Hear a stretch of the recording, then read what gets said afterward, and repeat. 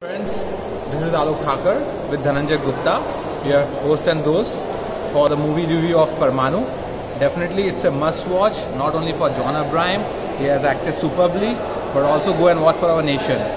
The great uh, historical thing which we achieved on May 1998, doing the under the great governance of Mr. Atal Bihari Vajpayee and Abdul Kalam ji, right? तो सभी हिंदुस्तानी दोस्तों से मेरी request है कि परमाणु ज़रूर देखिएगा not only for our self but for the future generation we are going to come and show them this movie and feel yourself proud